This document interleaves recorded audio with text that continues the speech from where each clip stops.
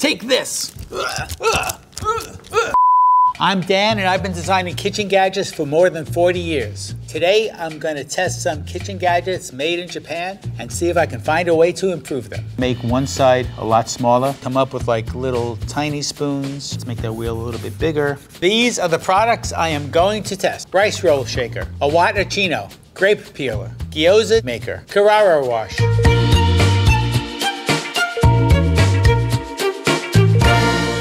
Rice roll shaker.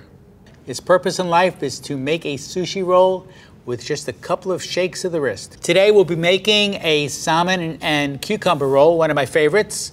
Let's see how effective it is. Let's uh, put in some rice and I'm not sure how much to put in, but I'm gonna put in what I think is gonna be a reasonable amount.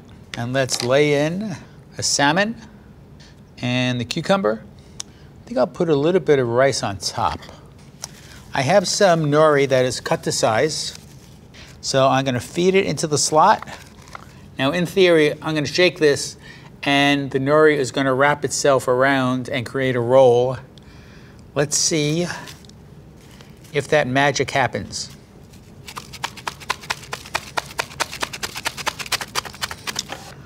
I might say the magic didn't quite happen yet. Try this, this time I'm gonna hold it vertically. Salmon is closer to the middle, at least it has some rice wrapped around it. Okay, let's try the nori. Again, I'm gonna feed it in as far as it wants to go. And it is, it rolled itself in. So I didn't know what to expect. It seems a little magical that it would just uh, wrap itself into a cylinder by just shaking it. Is it the tightest sushi roll? Maybe not, but it definitely worked itself into a sushi roll. So let's compare that to the centuries old way of rolling sushi.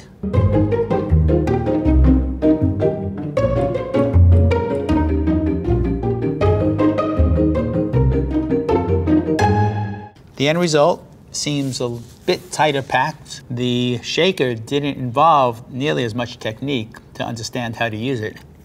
Because of that, it had some advantages, although it was a pretty loosely created sushi roll. In terms of effectiveness, on a scale of one to five for the sushi roll shaker, I would give it a four. I thought it was rather loose sushi roll, but it did work and it worked almost the first time. I think trying this left-handed or right-handed is not gonna make a big difference. There's just this ball that you need to hold on to, this round object. It's not gonna slip in the left hand or right hand, so I don't think I'll learn anything by using this left-handed. For usability, I would also give it a four out of five. It took a little bit of practice, though it takes less practice than rolling sushi by hand. Let's talk about a redesign. And I think this part of it is kind of okay. Holding it like this, I would at least try to experiment with elongating the handle to see if making it longer is going to be any more effective at giving it some uh, agitation up here to get it to roll better. The other thing is the slot is a little fussy. The nori is not necessarily perfectly flat. What I would do though is I would make this a little more generous and funnel-like so it's a little easier to feed the nori in. Aside from that, this is such a simple object, I'm not sure what other improvements I would suggest. For a buy rating for the rice roll shaker, I would give it a four out of five. I would think it's worth it just for the experimentation. You would probably have some fun trying it out. So it looks like there may be a lot of rice rolling in my future. I'm never gonna give you up. I'm never gonna let you down. Awa Taccino, designed to foam up milk so you can become a sculptor with your morning latte. In front of me are all the makings for a 3D latte with soy milk. As far as I can tell, the soy milk needs to go in first. I am going to place this in I'm going to place this in. Okay, so this needs to be up because there is a tab here. We should be foaming. So let's give it a couple of minutes because uh, it's not looking like there's a whole lot of foam going on here.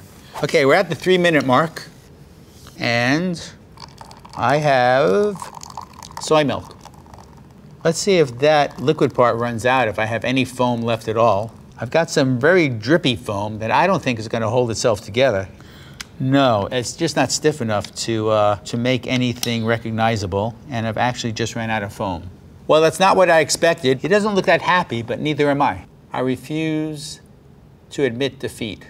No espresso for me this morning. This is more depresso. Well, the Awa Taccino was a bust, but let's see how we do with an electric frother.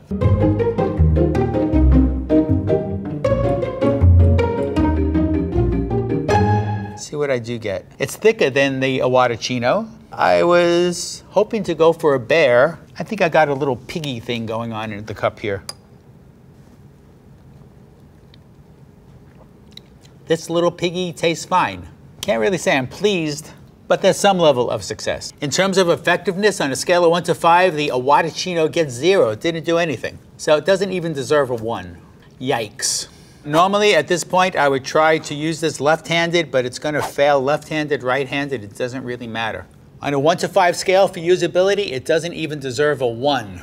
This would be a really good example of how not to make something usable. It just was not easy to turn it on. It wasn't easy to assemble. Uh, it wasn't easy to align the little tab to turn the switch on. It wasn't easy to spin the on switch. Just there was really nothing about it that screams out usability. Let's talk about a redesign, and this one's tough. I don't have any instant solutions on how to make this work. I have seen foaming devices that would be simply a cylinder with a screen like hand pump. It's got a base like that, milk up to here, and you start pumping, and this starts creating some foam. Now, could this turn into something that you can make artwork with? First of all, you'd have to foam this up so it's thick enough so you can make a three-dimensional shape. And maybe what I would suggest is using a device like this, but creating some sort of spoon-like tools which would have various shapes. Figure out how people are sculpting clay, look at what those shapes are like, and I would replicate those in a set that would come along with this foamer. It's almost two different things. These little devices to make the shapes and to make like cute little bears or frogs or pigs, separate from the fact that you also have a foamer that will work that doesn't require making artwork. So in terms of a buy rating, I would give the Awa Taccino a five out of five. Oh wait, not a five. I mean zero. Sorry, Awa Taccino, I expected really cute little things from you. I got nothing. Grape, peeler, in front of me is a grape peeler whose purpose in life is to allow you to peel grapes. So I've got a bowl here of Kyoho grapes. They are traditionally served in Japan, peeled, as a dessert. Grape number one, they are really tiny. Let's see if I just go at it. So I'm going to insert, twist, which is the way I think I'm supposed to be doing it. And I've got the inside of a grape in two halves. Let's do a couple more. First impression is that this wire part seems larger than it should be. Let's see if I come around the round edge, if I can extract a whole grape on the inside, and that did work. I do have a peeled grape. I feel successful. It's faster to eat than it is to peel. So these grapes have nutrients in the skin as well as in the flesh part, and I'm just bringing that up. I am raising awareness. Let's try it this way. Perfectly fine. Let's see how the grape peeler compares to using these grape peelers.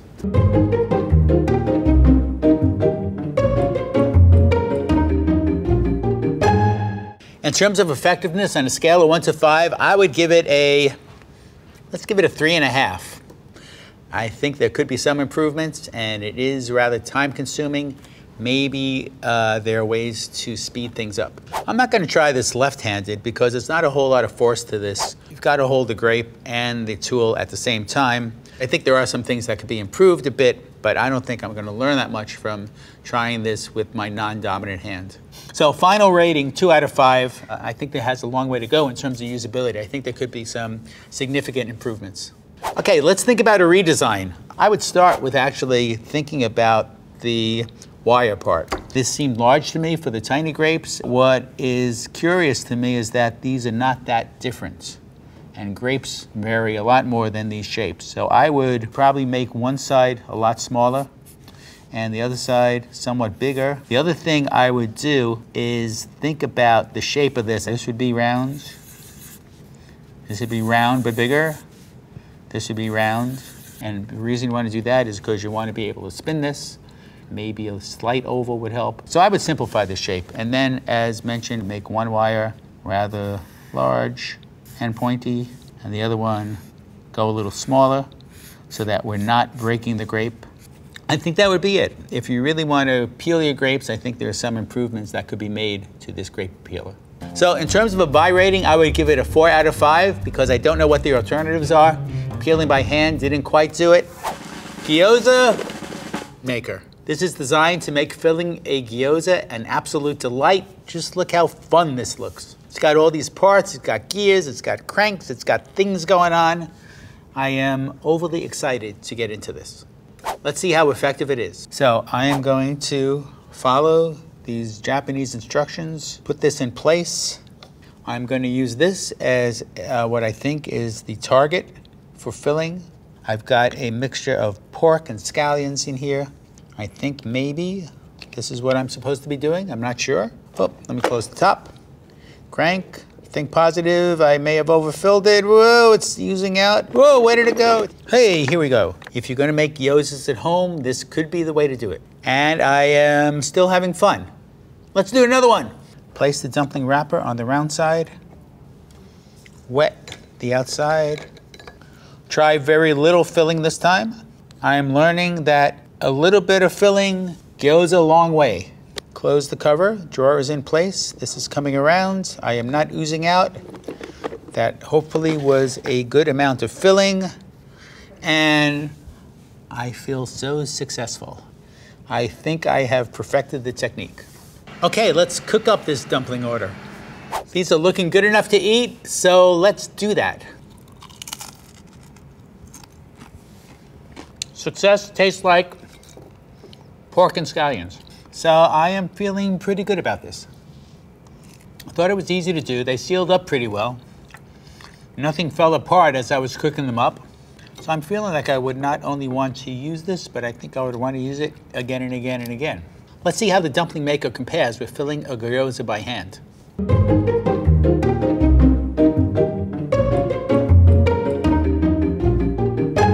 Okay, so these are not looking that bad. Actually, I may actually prefer them because they're a little uh, less even and they have a little more of a character to them.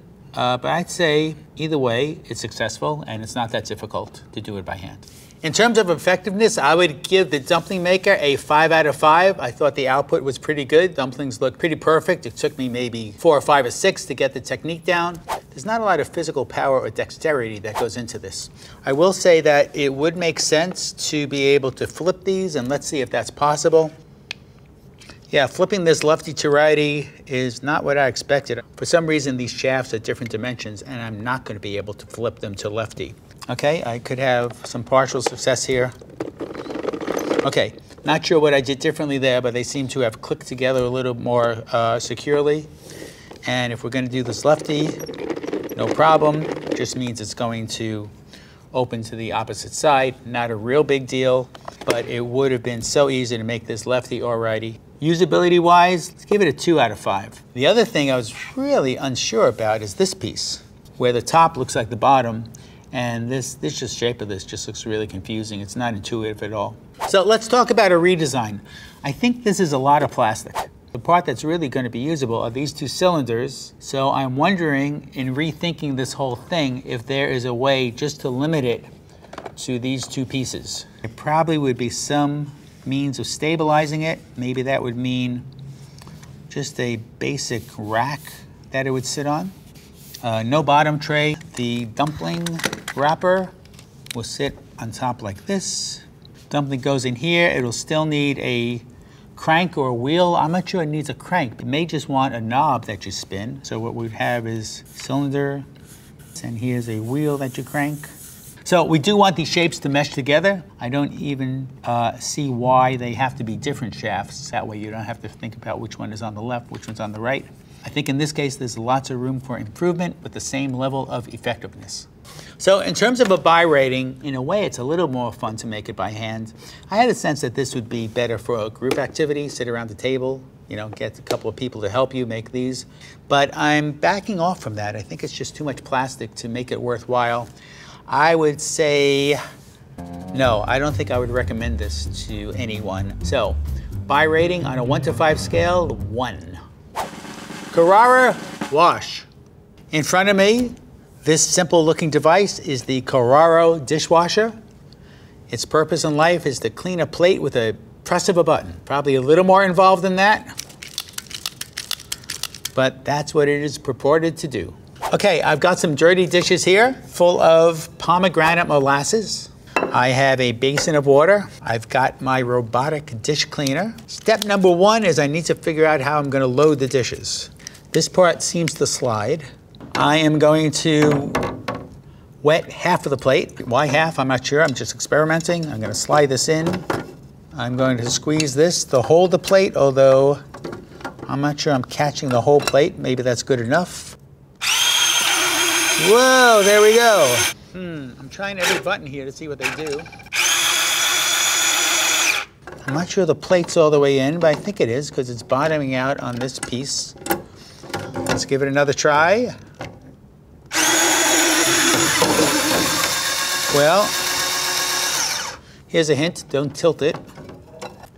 And I would expect that this arm would want to come around the plate.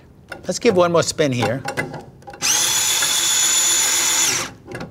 Okay, well, that was impressive, wasn't it?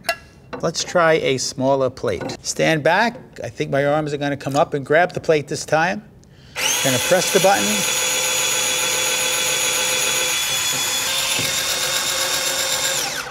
Okay, so here we have it, a perfectly clean plate. Now, the big question is, who is gonna clean this? I am a bit at a loss. I'm doing a bit of juggling and especially a lot of wondering. Let's try one more time. Only because, why not? Stick it all back in grab that plate, press the button.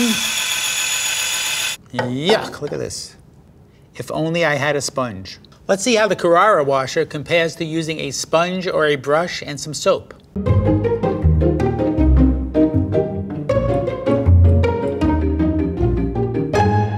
That seemed to go pretty quickly. In terms of rating its effectiveness, I would give it a 1 out of 5. Is that too much. I would give it a zero out of five. I wouldn't even consider this in terms of uh, a rating for being effective. This is just an odd, odd, odd object. In terms of usability, the same thing. You can't really tilt the plate. You've got to hold it uh, horizontally underwater. The plate will fall out. It's not easy to hold. It's really heavy. It just doesn't make any sense in terms of usability, especially when you compare it to a brush. Usability, zero out of five. For a redesign, I do not know where to start. If this came into me as a project and someone asked me to improve this, I would say no way. I don't think this thing needs to exist at all. I think the redesign is going to be a brush and a sponge, but to rethink this as it is in the next generation, I would just stay away. So I had a good time with some of these devices. I actually thought the Gyoza Maker was kind of fun to use. Sushi Roll Shaker, I felt at least some level of success first time around. The 3D Latte Art Maker, that one was just a bust, and I did try several times. As for the Kurara washer, I think I'm gonna have nightmares.